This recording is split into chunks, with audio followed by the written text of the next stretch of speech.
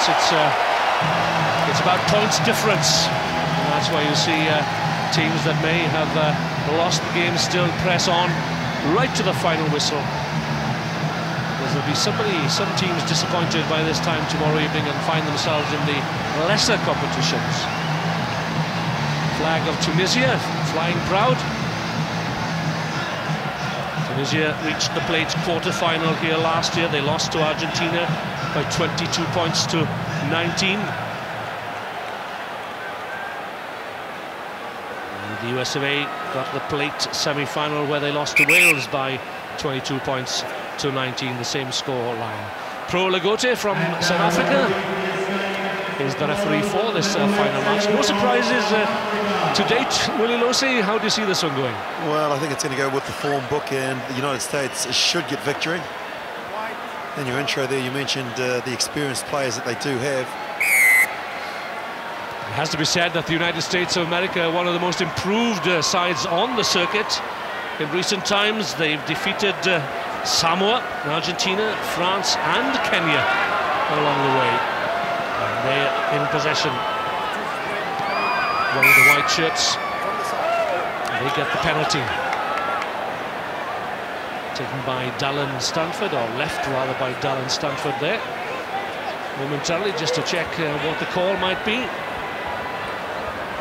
From the Occidental College, California, the Oxy Tigers. Dallin Stanford. It's Al Caravelli, the USA coach, who uh, incidentally represented Argentina in the Hong Kong Sevens way back in 1981. The squad, he says, is fit, fast, powerful and very excited with ball in hand. Let's see whether he's right. There's an opportunity for them. Stanford now to, to uh, midfield there. Change of direction. Sees Todd Cleaver brought in on the angle. Now then there's space out wide for Dallin Stanford.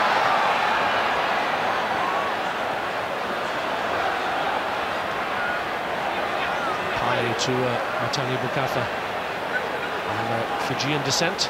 Lost forward. It's all a bit untidy at the moment. Well, from both sides, lack of appreciation for position. And you can see there, you can't play the ball while you are on the ground, hence the reason the United States have been given this penalty. It's a game to be played on your feet. And even more so these days when the referees apply the rules to the letter of the law. Well, I just can't believe how many players right throughout the whole day have found it difficult with the footing. The cleated boots look good, but they're not that effective on the longer grass here in the stadium. So fashion might have to give way to practicality on the second day of competition. But you're right, Willie, it's, it's, it's very slippery down on the surface there. And the grass, of course, is in pristine condition. Apparently, last Saturday they had a, a huge downpour here at Hong Kong, and they had to call a game off so that the uh, uh, the surface could be protected uh, in advance of the uh, the competition here this weekend. But it's already cutting up on the first night, uh, just inside the uh, Tunisian 10-metre line there. It was a lovely sight uh, before the tournament got underway, seeing all the young boys and girls and the different clubs from Hong Kong out here running around, getting their moment in front of the big crowd. So blood replacement early on for Tunisia. Just a nick inside of the, the head there. That means that uh, Sabri Gamir comes on for the captain, Lotfi Nino. He's the replacement with the ball in hand. Sabri Gamir. Plays in France for the uh, Tremblade club near Bordeaux, in the lower divisions. Thought he was putting the ball on the wrong side. Well, there's nothing preventing you from putting the ball in uh, that side. It's not, uh, not that practical. It's against the head, isn't it? But there's nothing in the law that says you should put it in on the left-hand side. Tunisia then bring it away through uh, Mohamed Yusri Chagir, the man with the, the headgear.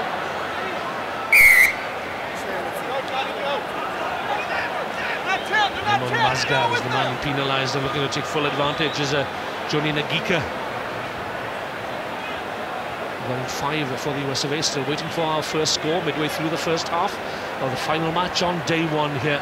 Chris Wyles, the captain, can he inject some pace into the USA attack? The ball is available. Giga. Again, just an example of how slippery it is. The ball lost forward. Now a chance here for Tunisia. Emin Glolo He's got support on the wide outside, gets it from Haitham Shelley to uh, Glolo once again. The kick from the chase, excellent work by Tunisia. Can he regather? Now then, what will be the referee's decision here? Try? Yes! Sabri Gamir, the replacement. It looked a bit scrappy, it looked a bit untidy. A try, I think, has been awarded. Although the touch judge, I think, wants to come in from the far side, Willie. Well, I think this could be about uh, the tackler being, or the player being taken out.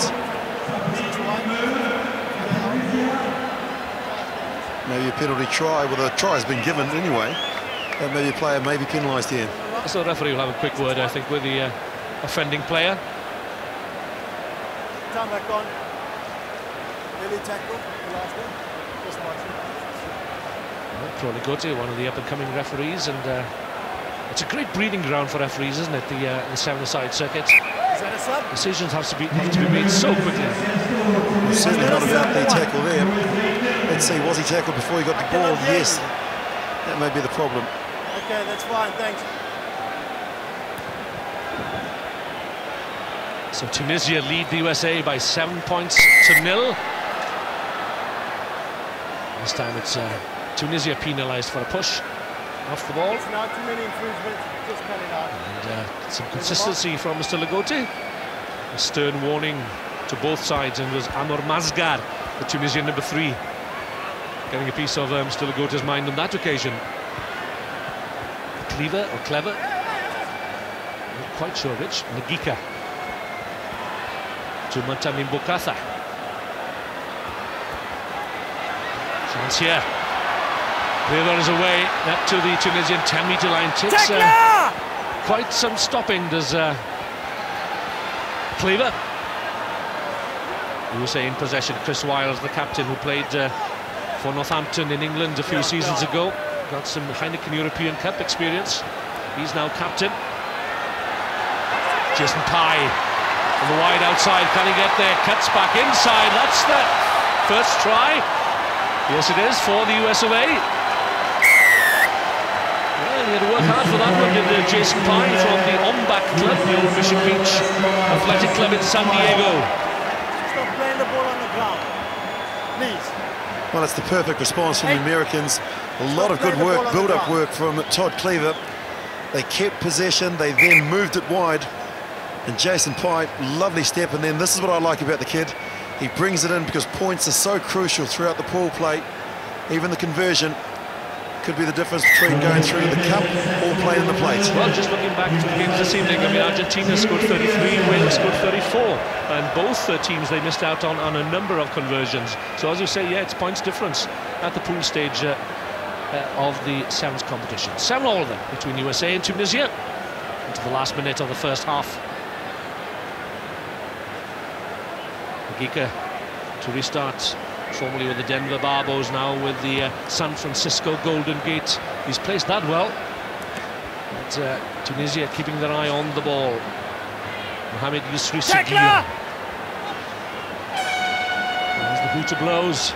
Stay on, this will be the last uh, piece of action of the first half. Not as uh, entertaining a, a half of as we have seen on the first stage competition. It's a second try. Stolen by the United States. And Dallin Stanford, is he pleased with that?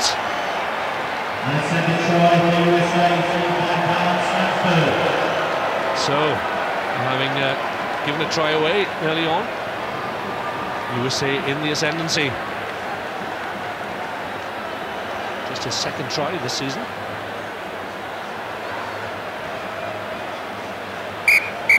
To seven as uh, referee Lagote blows the whistle to bring the first half to a close and uh, USA having edged it. They lead by 14 points to 7 at the break.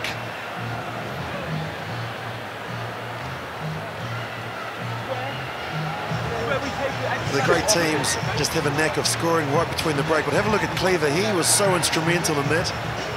Came through the kick and then the tackle, the crucial tackle which dislodged the ball. I'm sure that'll please Al Caravelli somewhat. Support him until they can't him in the air when he touches ground.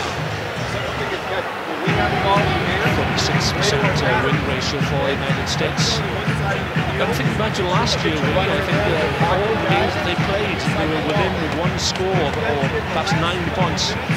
Not too much in it. The lack of experience, if anything, that uh, let them down. Daniel de Villiers is the uh, coach of Tunisia, new name on the uh, IRB 7 circuit.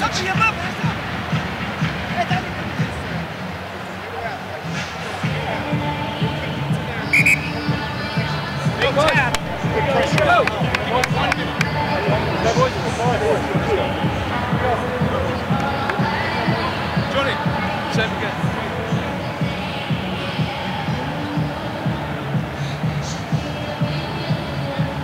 Support here for all the teams, all 24 teams.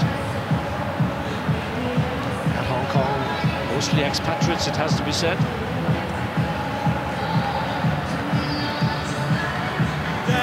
It's Johnny Nagika to get the second half underway. His team are ahead by a converted try by 14 points to 7. Tunisia will be looking to get back on level terms early doors in this second half. Palmed down by Haitem Cheli, wearing seven. That's uh, Amor Mazgar, 21-year-old. Spun out by Lotfi Nino. oh, well done by the captain. But he's in all sorts of trouble here on the on his own 10 metre line. Tunisia, however, have the width of the field. If they can spread it wide, they could have a man over here. The Gika is the sweeper for the US of A, just in case. Leave it red, leave it red. Advantage USA. Stanford try scorer. Advantage over. Gillenwater out uh, to the captain. Chris Wyles cutting back uh, inside, making the breakthrough, looking for the breakthrough. Quick possession, that's what's required here. Stanford has got the big guy, Matani Bukatha on the white outside. There's no way through. Three Tunisian players committed there, so it could be a four on three situation outside.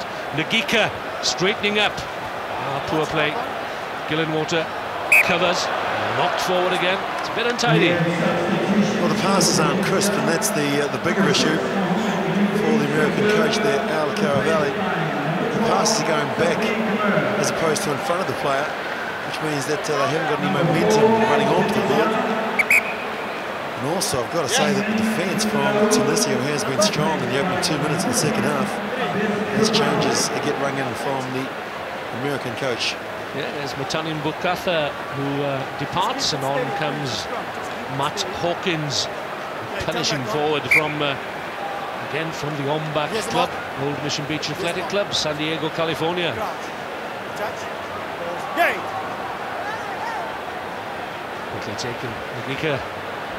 Chris Wyles, the captain, he's got pace. I think he's got the better of the Tunisian defender here. Yes, he has. Mohamed Yusri Subir couldn't do anything about uh, Chris Wyles. He made his debut here last year. And that's a, a third try for the USA, which takes them 12 points clear. Some breathing space at last then for the USA. Well, they scored right on the strike of half-time. And they extended their lead, and it should never come from set phase because it wasn't pretty, but it was the pass there. Nagika gave his captain the chance to get outside of the defence of Tunisia. One. One. Lovely One dive right. to finish with.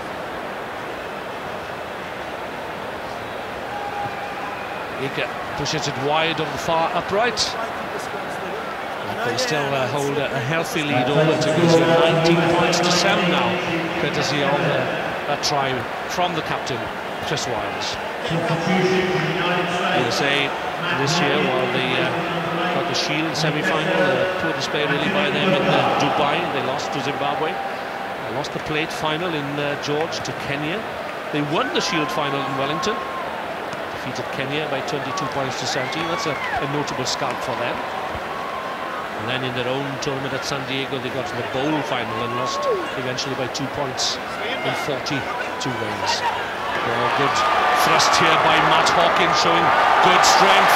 And talking of strength, there is the man that's got it in bundles, Todd Claver. And you say now running away with this one. It's a fourth try for them, the first for Todd Claver.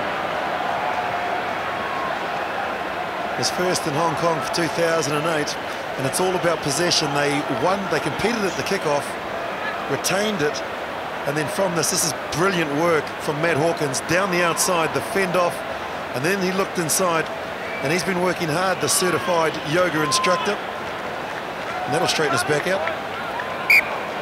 And another success. Well try from uh, Todd Claver. First glimpse there also of Matt Hawkins. You see he looked good with ball in hand. One more Good minute. strength. Coming in for you, Toddy. One more minute. Big guys in this uh, USA squad. And glimpses of what Al Caravelli was talking about, saying that uh, they were very exciting with ball in hand. And here comes the captain, Chris Wyles, yet again. Centre in 15s. Remember him uh, having a few no, games get for. Northampton. He didn't look out of place at all in the English Guinness Premiership. Jason Pye scorer on the USA's first try. Once again with the distribution. And uh, Wyles took his eyes off the ball then. Spotted the tackler. Good swarming defence. They're coming in. Osuna. And you're right again, when Griffiths, he just had a look at the opposition coming up. They hit three on two. As the Americans call on the heavy artillery of Thretton Palamo. Yeah, he certainly is a threat, isn't he? Substitution in Played some good rugby on there in Biarritz in France. Other places to Get Clever. closer again. Get closer. Touch. Thretton Palamo takes his place in the scrum. Steady, He's the steady. youngest player ever to appear in uh, a Rugby World Cup match back in uh, October 2007 when he came off the bench against uh, South Africa. World champions. Tunisia get the penalty. That's where the mark is. Time is against the North African nation. They've got a difficult match against uh, New Zealand tomorrow and Chinese Taipei as well in this uh, group. Once again, USA penalised. Just over a minute remaining then of this uh, final match of day one in Hong Kong. And whilst it looked, uh, looked a pretty close encounter at one stage, well, the USA have upped their game, uh, run away with it. Four tries to one. Could be a second here, though, for Tunisia. Replacement Sefadine Hassouna makes the scoreline a little more respectable with less than a minute to go. Well, that'll give them some confidence heading into day two. Conversion is good, so they've closed the gap to 12. And this is what Sevens is about. Getting it out, there's that pop pass there. Superb persona and support the man who made his debut in Dubai in 2004. And gets a 3.1 from the judge for the dive. So what can America do in the last 30 seconds of this match? They just need to retain possession, but they wouldn't mind another score, I'm sure. Here they come. Troy Hall. Fast, creative midfielder. Tackle it the Placement for the USA. Over. And there is the hooter. So, one last chance then for Tunisia to get another try to bring them uh, within a converted try of uh, what it looks as if it's going to be the United States' uh, final score. 26 to 14 Tunisia away. Sabur Ben Charada he'll have the last word or will he? No he won't. That's Gamir who scored the first try of this match. Now that makes the scoreline a little more respectable but uh, it's just all about points difference really. And it was that uh, middle part of the game that that uh, Tunisia uh, lost control of, and they've lost the match as a consequence. Well, they can play Tunisia, as you mentioned, upsetting uh, South Africa in 2005 at the World Cup. The pace, and then this is the all-important pass because they want to get it in close to the to the uh, to the sticks so they can convert it. Amir does that. Conversion is good. So the final scoreline then is 26-21 to the USA. That's the last game uh, of the first day of competition here at the Sokompo Stadium in uh, Hong Kong.